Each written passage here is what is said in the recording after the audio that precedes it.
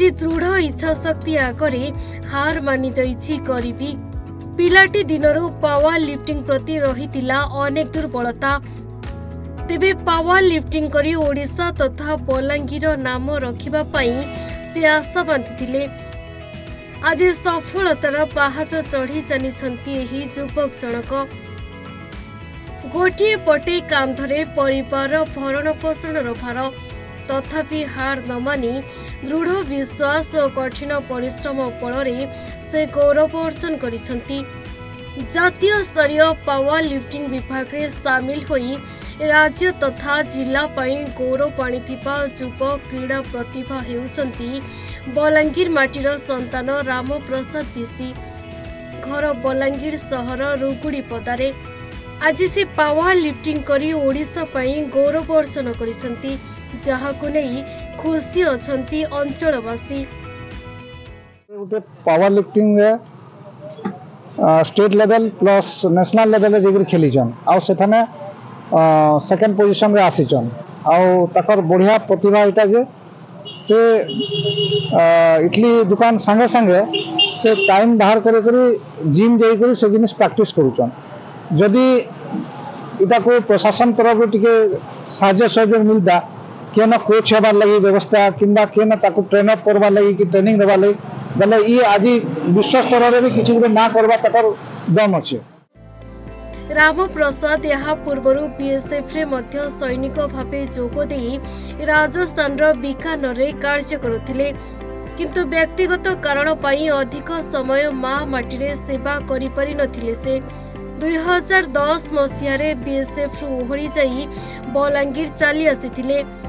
यहाँ पावार लिफ्टिङ दिगर निजको नियजित गर्भ सावार